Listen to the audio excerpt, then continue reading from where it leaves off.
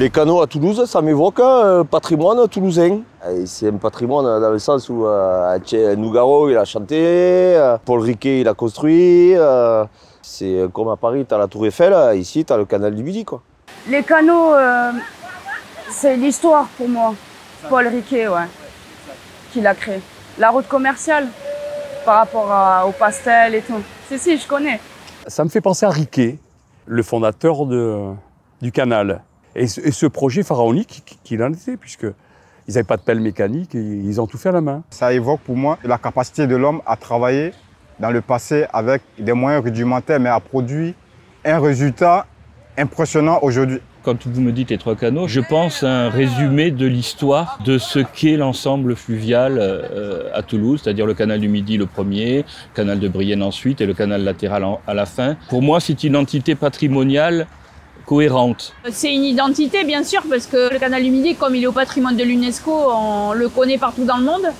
Les- la, la plus grande partie des étrangers qui nous rendent visite, c'est pour découvrir le canal du Midi. Je connais par cœur ici, hein. j'ai grandi ici, ça fait depuis que je suis toute petite que je vis ici.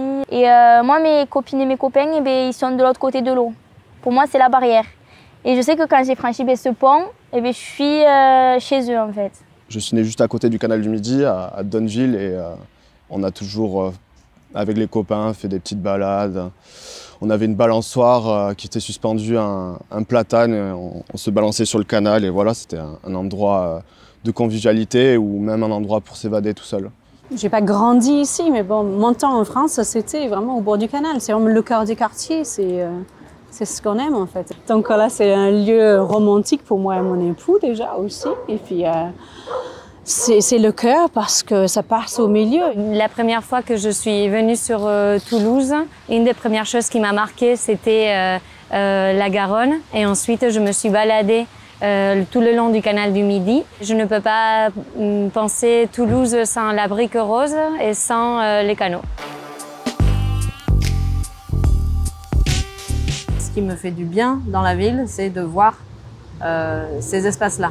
Parce que, euh, en fait, euh, souvent, on est entre deux faces d'immeubles. Et, euh, et du coup, euh, euh, le canal permet d'ouvrir ça. Moi, ça me fait penser surtout aux grands arbres, aux grands arbres tout, tout le long. Je pense à la réflexion du soleil dans l'eau qui reflète une, une bonne, bonne lumière. euh. Euh, ça me fait penser un peu aux, aux saisons, parce qu'à chaque saison, euh, le canal, on peut, il, il change. Comme en hiver, euh, ça devient glacé, c'est super joli à regarder. Et l'été, ben, c'est agréable aussi, on voit les, les- les familles euh, se promener sur ce bel espace. C'est un endroit où il fait bon euh, vivre. Une atmosphère euh, paisible, euh, des jolies couleurs, euh, quelquefois des oiseaux, quelquefois des ragondins, enfin des jolies balades. On respire, puis on a le bruit quand on arrive dans les écluses de l'eau, comme des cascades. Même quand on est seul, on est en compagnie de l'eau. Pour moi, les canaux à Toulouse, c'est des espaces de détente, des espaces où on peut toujours trouver des gens enfin, hyper souriants, comme là vous pouvez voir derrière vous. Moi, le canal du Midi, ça m'évoque la joie un peu. Et vous voyez toutes les personnes là qui sont le long du canal. Mais quand ils sont le long du canal, ils pensent à rien. C'est un vide, ça fait du bien de marcher le long du canal. Alors les canaux à Toulouse, ça évoque pour moi euh, principalement le sport et tout ce qui est balade, puisque je cours souvent le long du canal, canal du Midi. Moi, je fais mon sport avec ma prof. hein. Et Elle m'oblige à à courir le long du canal. hein. Moi, j'aime bien. Je fais du vélo quand euh, j'y vais, et sinon, je marche avec euh, ma famille. Ah ben, les canaux à Toulouse, pour moi, ça évoque vraiment euh, un endroit paisible, un endroit où on peut marcher, faire du vélo, euh, aussi se déplacer en ville euh, facilement. Euh, pour moi, personnellement, c'est un moyen de transport. Donc, je vais tous les jours au boulot euh, en vélo. Je vais d'abord privilégier euh, le canal du Midi ou les autres canaux afin d'éviter justement de, rentrer dans la circulation. C'est surtout un axe de circulation, quoi, genre un accès direct pour le bikini, aussi facile à y aller qu'à rentrer, à vélo ou à pied. Donc, c'est une ligne directive très importante quand on va en soirée. Et euh, c'est un raccourci aussi. C'est bien parce que je peux traverser plusieurs villes différentes. C'est un peu comme les veines, quoi, je pense. Les veines euh, de la ville. C'est un lien, quoi. C'est un lien entre plusieurs quartiers qui se ressemblent pas. c'est comme une petite rocade euh, d'eau, quoi.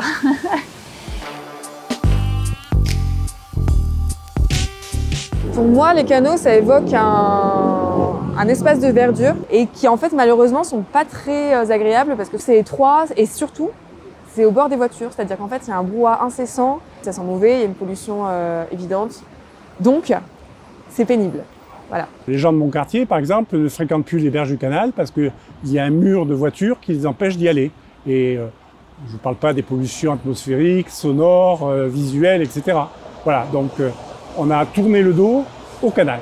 J'avoue que quand je suis arrivée à Toulouse, j'espérais que les canaux soient un peu mieux aménagés pour qu'on puisse se poser, mais du coup pour moi ça m'évoque plus des axes de passage qu'autre chose. Pour moi ils sont pas du tout mis en valeur, enfin il y a quatre bancs qui se battent en duel et avec un tout petit carré d'herbe autour, alors que quand on sort de la ville, le canal du Midi par exemple il est magnifique quoi, donc euh, c'est un peu dommage je trouve.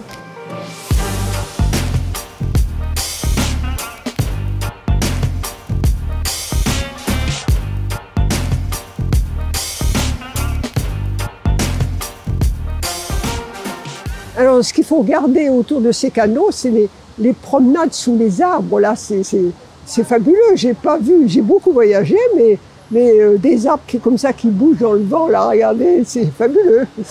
Ah oui, il faut garder ça. hein. J'espère qu'il y aura encore des platanes, qui ne seront pas obligés de les couper. Donc il y avait des projets de, de couper les arbres, les platanes qui étaient, qui étaient malades. Il n'y a peut-être pas de diversité, donc, euh, euh, donc il faut végétaliser euh, impérativement et, et élargir, le- donner un peu plus d'espace et d'importance au canal. Ce qu'il faut garder euh, le long du canal, ben, justement, c'est euh, le côté sauvage et le côté pas trop urbanisé qui permet aussi à la faune de, de rester. Ce qu'il faut garder, selon moi, c'est les écosystèmes, tout ce qu'il peut y avoir dans l'eau, les poissons, tout ça. Il y a toute une faune euh, particulière donc aux berges du canal. Donc on va trouver euh, des animaux tels que les ragondins ou des choses comme ça. Bon, il y a tout un ensemble d'oiseaux. Il faut, euh, disons, euh, les accepter et même les favoriser. C'est un, un enjeu de biodiversité. Qu'est-ce qui est bien qu'il faut garder en priorité? Pour moi, c'est clair, avoir accès au canal à pied, c'est une priorité, quoi. Ce qui est bien, c'est le chemin de halage, parce qu'on on a le contact avec l'eau, avec les berges. On est en dessous, en général, euh, des routes, et, et du coup, on est bien, quoi. Voilà. J'aurais aussi les ponts qui nous permettent de transverser, d'aller d'un côté à l'autre plus facilement. tous les ponts. Genre, je trouve ça vraiment bien foutu pour le coup. euh.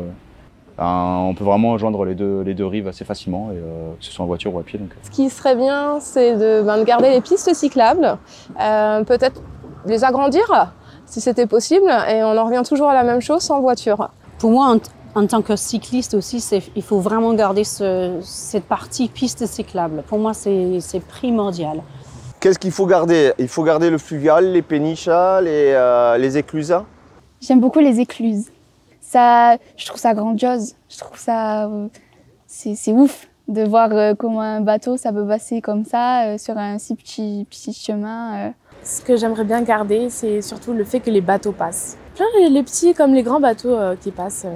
J'ai été éclusier vacataire et donc ce que j'ai pu y voir c'est essentiellement du tourisme. J'ai vu un tourisme déclinant. Je me demande si euh, ça serait pas utile de retrouver un certain commerce, un certain fret euh, via le canal. Ça pourrait être aussi des choses qui pourraient être intéressantes.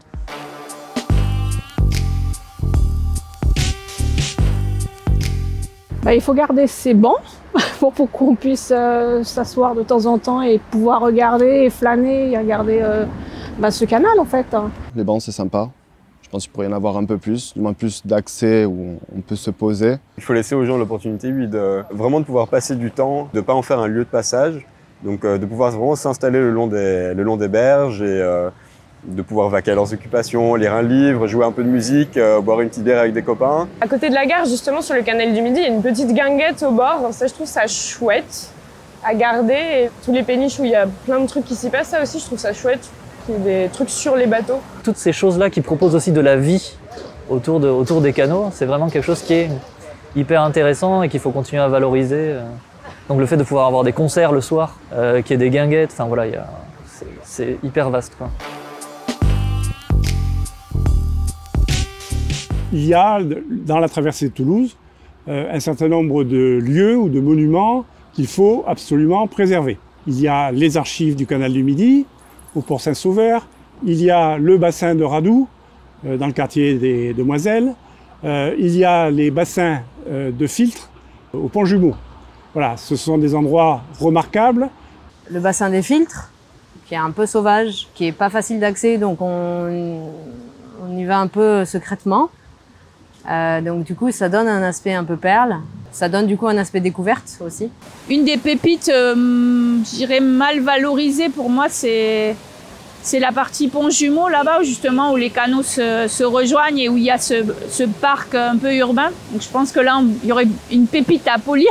Ce que j'apprécie particulièrement dans les canaux à Toulouse, c'est que justement, euh, au bout euh, du canal de Brienne, euh, il y a le skatepark Pont Jumeau. Et franchement, enfin, c'est un super endroit. Je pense que c'est le meilleur skatepark euh, de Toulouse. Dans ces canaux, moi, j'adore me promener sur la passerelle du canal de Brienne. Cette vue est, est totalement différente en fonction des saisons. C'est un très bel endroit. Un endroit auquel je suis, euh, que je suis attaché, c'est Port Saint-Sauveur. C'est un peu incroyable l'idée d'un port en plein centre-ville, euh, toutes ces péniches et là on, on, se demande vraiment comment elles sont arrivées là. En allant vers le musée Labitte, vous savez, voilà. Alors j'aime bien ce coin-là. Il y a plus de verdure, c'est plus verdoyant, c'est plus, c'est plus, c'est plus riant qu'ailleurs. J'aime bien le jardin Mon Plaisir qui est pas très loin et le, bah, le musée aussi Georges Labitte qui est pas très loin aussi. Les cales de Radou. C'est là où on peut faire rentrer les péniches pour les restaurer. Et puis de temps en temps, ben, il y a des péniches qui passent, il y a les agents communaux qui viennent ouvrir. C'est un spectacle. Mais j'aime les trois ponts.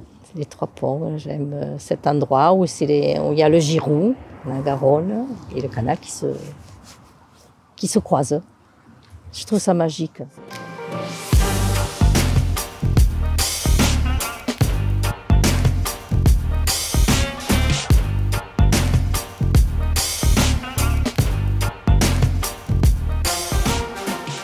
Faudrait changer l'aspect, plus fleurir des endroits un peu plus bétonnés, parce que le canal, c'est l'eau, c'est la source, et on a besoin justement de cette nature, même si on est en plein centre de la ville, ça peut apporter quelque chose. Il faudrait arranger, côté où c'est qu'il y a qu'il n'y a que de la végétation qui a poussé, qui a poussé, ça ressemble à plus rien. Quoi. Il y a des roses, ça se mélange, c'est pas génial. Quoi. Ce que j'aime moi y retrouver, c'est le fait que justement, ce soit pas aménagé, la pelouse, elle soit pas tondue. Il n'y a pas des fleurs qui sont mises dans des petites cases, dans des petits pots. C'est euh, c'est un peu, je dirais pas en friche, loin de là, parce que c'est totalement praticable et tout. Mais voilà, sauvage. Le canal latéral, il me semble que c'est très peu aménagé. Moi, c'est très sauvage. Moi, j'ai des amis qui ont une péniche là-bas et euh, c'est la friche. Donc voilà, ce, ce genre d'endroit sera, il y aura des choses à faire. Parfois, c'est vrai que des jolies plates-bandes d'herbes aménagées avec des fleurs, avec des petits arbres, ça embellit encore plus. Quoi. Là, c'est laissé un peu en l'état. Je n'aime pas qu'on fasse des espaces aseptisés. Le jardin des plantes, pour moi, c'est un espace aseptisé parce que c'est trop clean. J'aime bien qu'on reste dans l'esprit euh, sauvage. Juste là à côté, il y a une petite zone où de nuit c'est vraiment très sombre et je sais qu'il y a des gens qui ne veulent pas aller promener leurs chiens parce que euh, parce que c'est un peu sombre et n'importe qui qui passe, euh, il peut être très bien intentionné. Ça fait toujours, euh, je dirais pas peur, mais un petit sentiment d'insécurité du fait que simplement il n'y ait pas de lumière. Il y a des endroits le long de ces canaux qui peuvent être parfois mal éclairés. Euh, je pense à une expérience où euh, bah, ma petite amie, elle, se baladait au bord du canal un soir, c'était mal éclairé, et puis bon, bah, elle s'est faite agresser. Rien de physique, mais voilà, c'est, euh, on vient de chercher, on, te, on t'embête, quoi, et c'est, c'est pas agréable. Quoi. Là, c'est vrai, juste le temps d'aller faire l'aller-retour à la poste, on m'a fait trois réflexions, ce que je trouve beaucoup sur 25 minutes de marche. Si le coin là-bas, je suis pas la seule à constater que c'est un problème, est-ce que justement, on pourrait pas envisager un lieu pour les enfants et du coup, ça ferait venir du monde en masse. Et là, ça fera peut-être plus de changements par contre. Ce qu'il faudrait améliorer, euh, particulièrement le long du canaux, peut-être euh, c'est des espaces qui sont parfois bruyants, s'il y a la route euh, qui, qui, les longe, qui brise un peu le côté de, de, de, repos que ça peut avoir et qui est, qui est souhaité si on souhaite aller se, se balader. Ah bah il y a des endroits du canal que je fréquente pas à, à cause des voitures et des bouchons, enfin, et des, du gaz d'échappement. Et euh, ouais, c'est un peu gênant, mais bon, on n'a pas le choix, on est en centre-ville. Euh... Voilà. Ça, c'est déplaisant. C'est un truc, ça c'est super déplaisant ça par contre. Ça veut dire que dès qu'on est sur le canal et qu'on entend ça, on se dit là je suis plus sur le canal. C'est dénaturant. Parce que même moi, j'ai un double vitrage, euh, ça, ça tabasse. hein. Toute la nuit, c'est... Ah, ça c'est pénible. hein. Peut-être faire des zones 30, des zones euh, où les gens circulent moins vite et du coup moins bruyantes. Déjà, peut-être enlever de la circulation. Peut-être pas l'enlever, mais euh, la diminuer au moins. Il faut réduire de manière drastique la circulation euh, le long du canal du Midi. Sur les boulevards, c'est 10 000 véhicules jour. Sur les bords du canal, c'est 25 000 véhicules jour. Je pense que cette approche est à rejeter. Il faut permettre à tout le monde de fréquenter les lieux sans augmenter les contraintes. Les gens n'habitent pas tous euh, à, à proximité du canal. Il faut garder un espace pour les voitures pour qu'ils puissent se garer parce qu'on peut plus circuler en ville. Il faut garder aussi des espaces pour les handicapés pour qu'ils puissent accéder. Alors nous, personnellement, euh, rentrer dans Toulouse, on n'y va jamais en voiture. À Bruguière, il y a des bus qui nous amènent au métro. Ah oui, je serais prêt à renoncer à l'usage de la voiture le long des canaux. Après, euh, l'autre élément, c'est que si on veut que les gens n'utilisent plus leur voiture, il faut leur donner des transports en commun euh, adéquats, suffisants, euh, non polluants. Circuler en voiture, eh ben, on devrait améliorer la circulation en bus, en métro, en- et puis les pistes cyclables dont on parle là, j'ai lu, de- il était question de faire des pistes cyclables. Si, après tout, ben oui, oui, pourquoi pas, oui. Je connais euh, la ville de Rennes et donc à Rennes, euh, pour éviter qu'il y ait trop de voitures, ils ont fait des parcs relais pour pouvoir euh, permettre aux gens bah, de laisser leur voiture à la périphérie de Rennes et ensuite bah, prendre les transports en commun. Euh, ce qu'il faudrait améliorer, il faut vraiment créer, je pense, un espace de vie pour les, euh, les piétons. Vraiment dissocier euh, le coin euh, piéton euh, et vélo. Euh, parce qu'ayant un vieux chien, euh, c'est parfois dangereux de pouvoir traverser à certains endroits. Ou même moi, je le vois quand, quand je fais du vélo, en fait, euh, je stresse souvent parce que j'ai trop peur d'écraser quelqu'un ou de renverser quelqu'un, un chien ou quoi. Quand on est à pied, euh, c'est c'est dangereux, euh, les vélos sont dangereux. Et puis moi-même, quand je suis cycliste, je me rends compte aussi- aussi, j'aime bien tracer, qu'avec les piétons, parfois, il faut faire très très attention. Quoi. Pour moi, c'est cette partie vraiment urbaine entre, euh, on va dire, Dupuis et les ponts jumeaux. Il faut sécuriser le- la circulation à vélo, je pense, sur ce tronçon-là. Parce que, voilà, en tant que cycliste, je me sens pas sûr, je me sens pas serein. Faire même un coin vélo, un coin, un coin piéton, un coin vélo, un coin piéton. Comme ça, personne ne tape dessus ou quoi, ça peut arriver. Comme ça, il n'y a pas d'accident. Ça serait bien. Ce serait bien de nous séparer. Moi, je pense que la priorité, c'est ça. Comment rouler et comment marcher en toute tranquillité. Élargir le canal parce qu'il faut penser qu'actuellement, on a des gens qui marchent, des gens qui roulent en vélo et des gens qui courent, donc trois vitesses différentes, qui en fait euh, se déplacent sur une toute petite euh, zone. Donc je pense qu'élargir, c'est essentiel. Il faut que, bah, que les personnes à mobilité réduite puissent euh, y avoir un accès et puissent s'y déplacer. Il faut que ça puisse être adapté également aux personnes qui se déplacent en, vélo. Mais voilà, l'idée c'est que de faire une place au plus grand nombre. Quand on passe sous les ponts, il n'y a aucune visibilité. Et euh, donc là, c'est très facile de croiser un vélo euh, qui va assez vite euh, et, de, se rentrer dedans facilement, puisque je pense que ce serait ça qu'il faudrait en priorité changer. Pour passer sous les ponts, c'est l'horreur. c'est l'horreur. Je les évite maintenant, en fait. Je reprends le- la chaussée, euh, bah, la, la rue, en fait, de- le long. Donc là, parce que c'est tellement étroit, c'est effrayant, c'est- il faut sonner si on croise quelqu'un. Je pense que ce qu'il faut vraiment améliorer dans les, dans les canaux, déjà, c'est des jonctions, des points de jonction entre les différents canaux. Quand moi, je pars à l'atelier, par exemple, et que je passe du canal du Midi pour aller sur le canal de Brienne, il faut que je descende du vélo pour descendre le, le vélo pour arriver sur le bord de la berge. Ça, c'est ça, c'est vraiment dommage. Que je puisse pratiquer ce que je pratique dans mon quartier, c'est-à-dire la promenade ou le sport, mais d'une façon continue.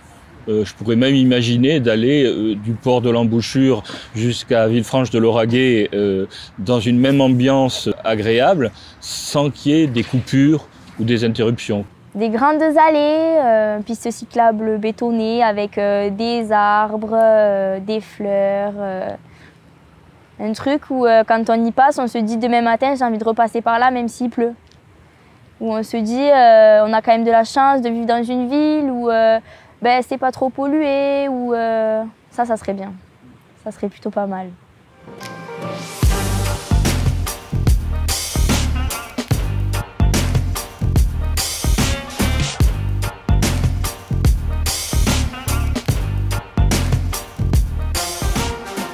Déjà, on a du mal à s'imaginer un projet aussi grand que le parc du canal, euh, justement. Euh, c'est la première fois que j'en entends parler. Ça m'impressionne. Mais comment tu veux faire un grand parc là? C'est- assez étroit quoi. Je comprends pas. Euh, voilà, tu, tu veux mettre une grande roue tu, tu- tu veux faire quoi? Aujourd'hui, je pense pas qu'on est dans un parc parce qu'il y a beaucoup de, de voitures qui circulent autour, euh, il manque de verdure, c'est assez bétonné un peu, un peu partout. Là, on est vraiment en ville. Donc c'est une place, il y a du bruit, il y a des voitures. Un parc, c'est plus protégé du, des véhicules et du bruit. Il y a une notion un peu aquarium, quoi. On est dedans et on n'a pas besoin d'aller très loin pour se sentir euh, un peu en intimité avec la nature. Ce serait vraiment d'essayer de faire une bulle autour du canal, qu'on ait l'impression vraiment d'être, euh, j'ai envie de dire, dans une forêt, alors qu'à 5, 10, 15 mètres, on a quand même des habitations, on a quand même des choses. Comme un, un endroit un peu isolé, à part, quoi. euh, comme si on entrait dans une, dans une bulle, quoi. Et puis bah, dans cette bulle, bah, il y aurait que de, du bonheur. voilà. Ce qu'il est, c'est vraiment le canal, il faut que ça reste le canal. Il ne faut pas trop non plus le moderniser et en faire n'importe quoi. Il faut garder son charme qu'il a quand même. Même si à côté, on peut faire des choses, jolies choses. En arrivant de la Côte d'Ivoire, j'entendais parler de Toulouse comme ville rose, où tout est rose. Je constate que c'est à travers la pierre. Mais depuis que j'y suis, je constate que les aménagements ne prennent plus cet aspect en compte. Et j'aurais bien voulu que dans ce parc, on arrive à remettre ça en valeur. Personnellement, même si on rend l'espace plus moderne, il y a cet aspect toulousain, avec la couleur, avec les, les briques, que si on peut les garder, ça serait aussi sympa. Genre faire une mélange entre les deux. La lumière, je pense qu'elle pourrait jouer un rôle là-dessus. Si vous faites un parc, euh, j'aimerais pas qu'on enlève le côté euh, naturel. Enfin, là, je suis contente d'être euh, dans une ville pour mes études supérieures, mais vu que j'ai grandi à la campagne, pour moi, c'est super important ça. le côté nature et j'espère qu'il sera rempli de, de végétation, vraiment. C'est simple, on n'a pas besoin de grandes choses en fait. Un canal, c'est avec des arbres, avec de l'eau, il faut garder les choses essentielles. Simplicité aussi, ne pas faire trop, pas de commerce par exemple, tout ça là, non. Mais juste me balader et tout, euh, dans de l'herbe et tout, etc., à côté de l'eau. Un grand espace vert où il y a plein de jeunes enfants et tout qui jouent dedans, au lieu de traîner justement à côté dans des bâtiments, etc. Enfin, moi, j'ai eu la chance de grandir à la campagne, mais quand je pense aux, aux enfants citadins, le seul rapport qu'ils ont à la nature, si les parents les sortent pas, c'est les parcs, en fait. Et du coup, s'il y a des choses aménagées dans les parcs pour que eux puissent découvrir, ça, c'est chouette. À quoi ça devrait ressembler Je pense que ça devrait ressembler à bah, déjà quelque chose de beaucoup plus large. Pourquoi pas des, des choses qui permettent d'y rester un peu plus longtemps. Un peu de mobilier ur- urbain qui justement nous invitait à s'asseoir, peut-être faire, faire une méditation par exemple. Ça, c'est quelque chose que j'aimerais beaucoup. Des bancs et peut-être des tables aussi pour pouvoir euh, manger, pique-niquer. Des endroits ouais, qui rassemblent, où il y a de la convivialité. Voilà, un endroit où on peut échanger, euh, s'amuser, euh, jouer au molki, à la pétanque. Ouais, c'est ça, ça pourrait être pas mal. Des terrains de pétanque, euh, ce genre de choses, ça marche toujours. Ouvrir une bodega, des petites kermesses, jouer au ping-pong, je sais pas, quelque chose, histoire de, de faire en sorte que toutes les générations sortent en fait. Qu'ils aient 7 ans ou 77 ans, un temps qu'ils puissent se, peuvent se croiser, se rencontrer, se dire bonjour. Trouver des, des lieux de rencontre et le, et le canal euh, sera ce lieu pour, pour Toulouse. Il faut qu'il y ait des lieux où euh, les gens puissent euh, se rassembler, euh, boire un pot, euh, des, déjeuner. Donc ça, ça serait, ça serait extraordinaire. Il faudrait que ce soit un lieu ouvert aux enfants aussi. C'est vrai que dès quand on parle convivialité, on pense restaurant, on pense quinguette. Mais je pense qu'il faudrait aussi penser à faire un jardin, quelque chose, pour faire venir les enfants jouer. Il faut, il faut aussi pour les, les personnes qui veulent sortir avec leurs enfants des jeux. Euh, Ils peuvent manger dehors, se promener. Moi, je ferais un parc d'attractions. Je mettrais un parc de loisirs euh, avec beaucoup d'animation. Ici, ça manque des parcs à thème. On n'a pas d'Astérix, on n'a pas de, ni d'Obélix. les enfants peuvent s'amuser, euh, comme dans des parcs où il y a des toboggans, euh, des, euh, des petits murs d'escalade. euh. Ah, moi, j'aimerais bien qu'il ressemble à une grande zone où euh, il y aurait euh, beaucoup de jeux, des balançoires, euh, possiblement un trampoline, avec euh, un centre multisport. Si, il pourrait- on pourrait potentiellement rajouter des petits parcs euh, ou faire de la musculation, par exemple. Je n'en ai pas vu euh, proche d'ici. Voilà, un parcours sportif, pourquoi pas Ça pourrait être agréable aussi. Je trouve qu'on devrait mélanger le côté euh, paysage, tranquillité, culturel. Donc ceux qui auraient envie de jardiner, ils jardineraient. Ceux qui auraient envie de faire du yoga, ils feraient du yoga. D'autres lire, bronzer, etc. Mais euh, vraiment un espace de liberté pour, euh, pour les Toulousains. Et Toulousaines, bien évidemment. Un peu des trucs pour tous les âges, je sais pas, un truc de pétanque, euh, euh, des jeux pour les enfants, une petite, euh, une petite buvette pour les étudiants. euh.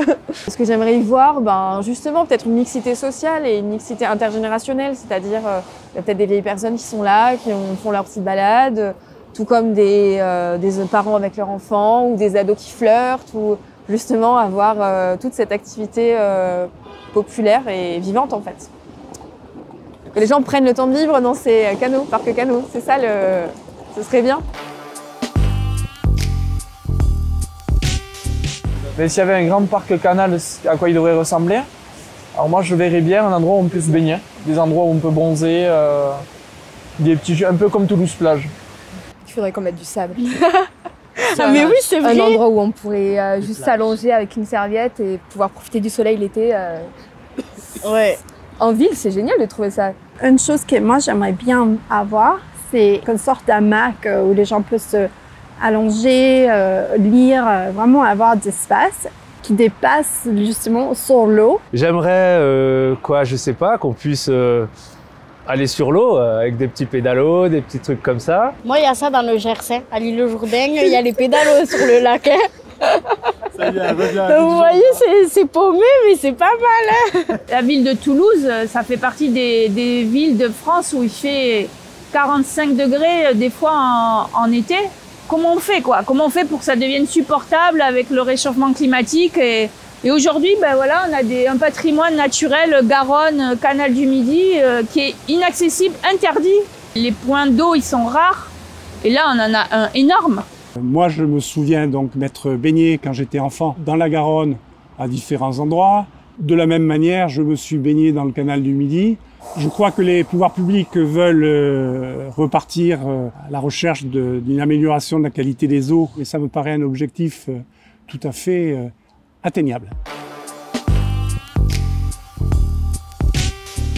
J'imagine le grand parc canal euh, comme je le rêverais. Moi, je verrais quelque chose plutôt à l'anglaise qu'à la française, pas forcément délimité avec du goudron et des cailloux et des panneaux et des interdictions et des limitations et des arrêtés municipaux. Plutôt des choses qui permettent de se poser sur certains, à certains endroits, à certains moments, de se laisser un petit peu errer, de se laisser un petit peu voyager. En fait, euh, c'est un truc que j'avais vu dans une ville en Espagne, à Valence, où ils ont vraiment euh, articulé toute une, coulée verte dans toute la ville. Et c'est impressionnant, c'est vraiment un parc qui traverse toute la ville.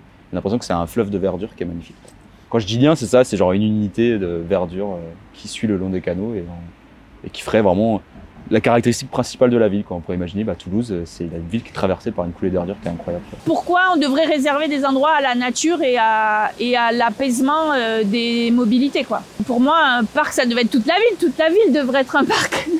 On pourrait imaginer qu'il y ait une trame verte finalement entre le Grand Parc Garonne, le Grand Parc du Canal, le Grand Parc, euh, le parc de la Maourine, euh, qu'on pense Caffarelli, et qu'il y ait des liaisons en fait entre eux, qu'il y ait un maillage en fait. Moi, je viens de la campagne. euh, on n'a pas de parc chez nous. on va dehors, le monde est un parc, si je puis dire. Quoi. Le parc, il fait ville. C'est la nature imposée à la ville. Alors que le canal, c'est un bout de nature, je trouve, assez sincère qui passe dans la ville.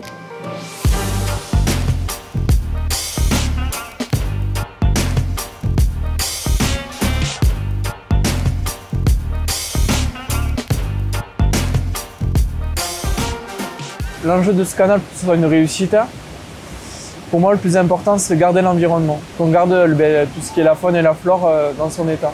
Ben, au jour d'aujourd'hui, ça construit beaucoup à Toulouse et euh, ça manque cruellement de- d'espace vert. L'enjeu, c'est qu'il faut que la nature reprenne ses droits pour moi. C'est important, c'est grâce à ça qu'on peut vivre, hein, je dirais. Euh, Les arbres, ça, nous fait vivre. Les chants des oiseaux, ça égaye la vie des gens. L'eau, euh, c'est apaisant. Euh, voilà, je pense que tout le monde sera d'accord si on dit que bah, c'est bien pour notre santé. les arbres et tout ça, c'est quand la nature est présente, c'est et prend le dessus, finalement, on est apaisé parce que c'est une présence sereine, quoi. C'est pas agressif, hein, c'est pas des les arbres, ils vont pas faire du bruit, marcher, euh, jeter des gaz, c'est pas, c'est l'inverse, quoi. Ils, ils nous soignent, quoi. Je pense que ce qu'il faut surtout pas rater, c'est tout ce qui est défi actuel par rapport au, au climat et à, et à la nature. En fait, je pense qu'il faut pas quelque chose de trop fainéant en mettant beaucoup de minéral et quatre arbres en se disant ben, on va pas arroser, on va pas se payer, euh, voilà. La nature, devant sa porte, voilà euh, ce que pourrait être le grand parc canal, en complément avec celui de la Garonne.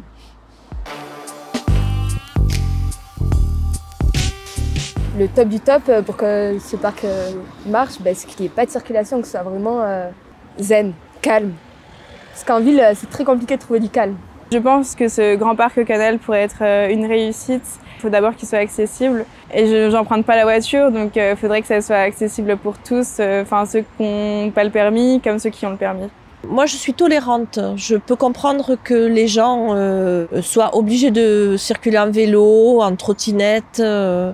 il faut que chacun y trouve son compte sans embêter l'autre.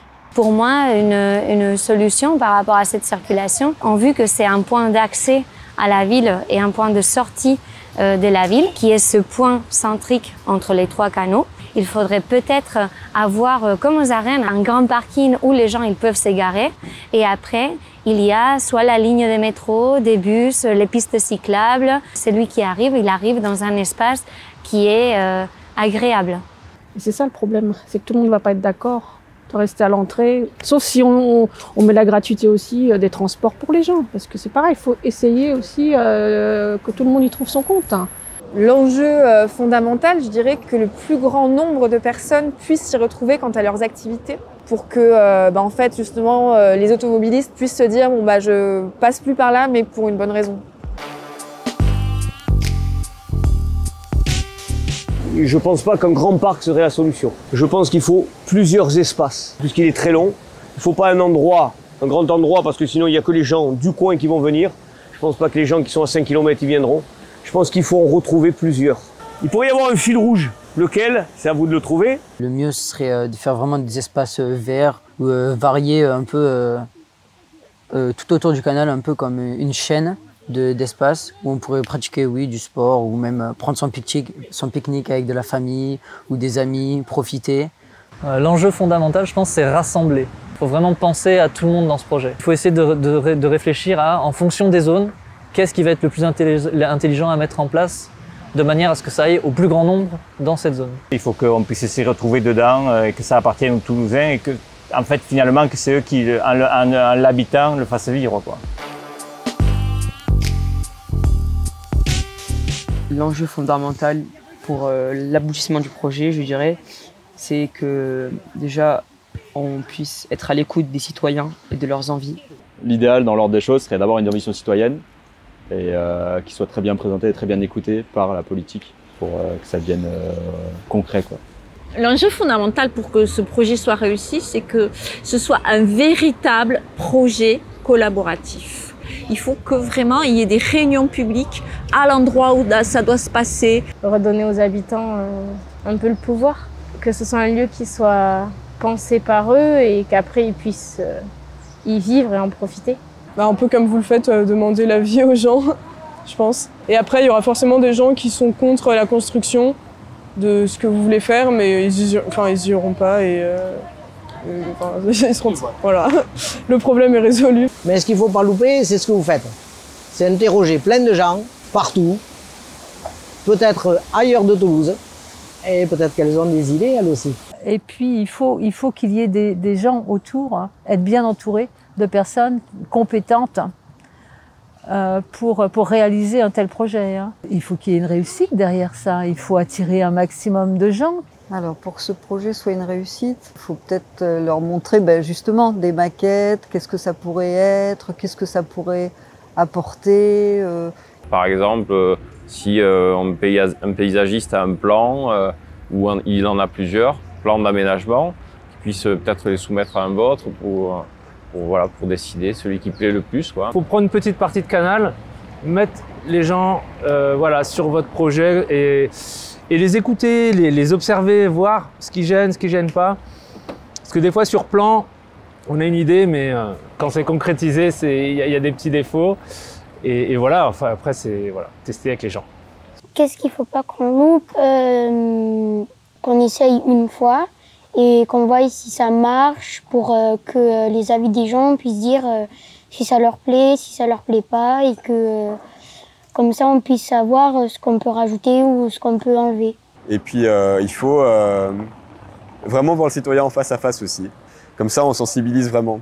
Ne serait-ce que par euh, sentiment humain tout simplement quand, quand on me dit je t'ai écouté, j'ai posé une action concrète parce que tu m'as dit ça, eh ben on se sent respecté en tant que citoyen. Et même en tant que personne, je pense que c'est que comme ça que ça peut fonctionner. Voilà, l'écoute, je pense, c'est la, plus grande clé pour la réussite de ce projet. Bah parce que pour une fois, c'est les gens qui vont pouvoir dire euh, ce qu'ils attendent un peu euh, de ce qui est en bas de chez eux, quoi. Donc euh, si on veut que ça marche et que les gens soient contents, faut les écouter. Mais moi, je pense que pour le projet soit une réussite, il faudrait que tout le monde croit en ce projet.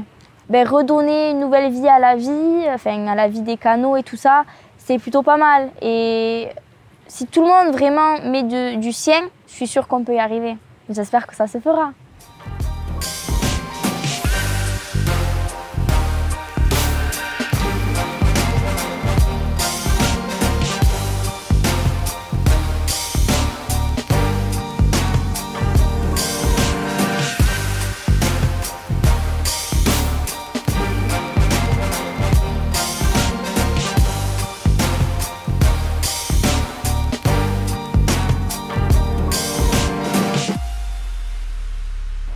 Qu'est-ce que si le canal du Midi est une personne, qu'est-ce que je devrais lui dire? Bah, J'ai envie de lui dire porte-toi bien parce que je quitte Toulouse. Et euh, je suis émotionné là. oh là là. Bah, j'ai passé beaucoup de temps euh, le long du canal du Midi et euh, porte-toi bien mon grand. Et puis j'espère que j'espère que ça va devenir encore plus pour les Toulousains un, un lieu de repère. Et, et bon, voilà, je lui dis merci, c'est tout. Voilà, vous m'avez fait pleurer.